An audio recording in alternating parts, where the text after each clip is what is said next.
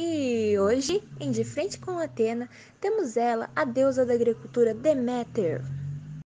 Oi, pessoal! É uma honra estar aqui hoje e falar um pouco sobre o meu trabalho que eu tanto amo. Nós que agradecemos a sua presença. Agora conta um pouquinho pra gente do seu projeto e de onde surgiu a ideia. Bom, Atena, a ideia surgiu inspirada em um trabalho no campus que abordava o tema de desigualdade de gênero, dentro das experiências de estágio dos alunos. Então pensamos, por que não trazer essa análise para o meio escolar? Será que o que acontece no estágio é a reprodução daquilo que temos na base de ensino? Então, a partir disso veio a ideia desse projeto.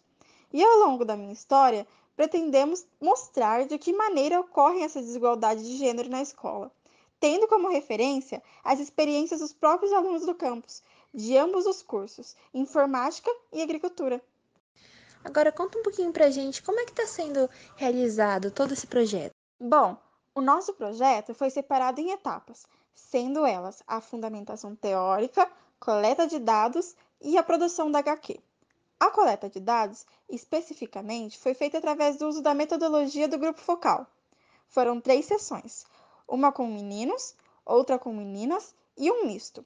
Os alunos eram dos dois cursos. Devido à situação atual de pandemia, adaptamos toda essa técnica para o meio online.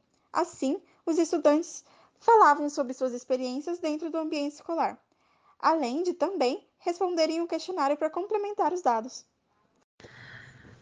Olha, Deméter, eu queria dar muitos parabéns para vocês, para esse novo projeto. Queria agradecer a sua presença aqui no nosso programa.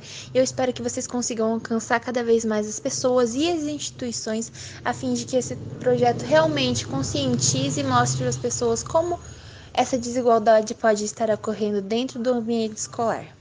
Quero agradecer pela oportunidade de participar desse programa e dizer que não devemos nos calar temos que lutar pela igualdade de gênero, e digo aqui com muita convicção: lugar de mulher é onde ela quiser.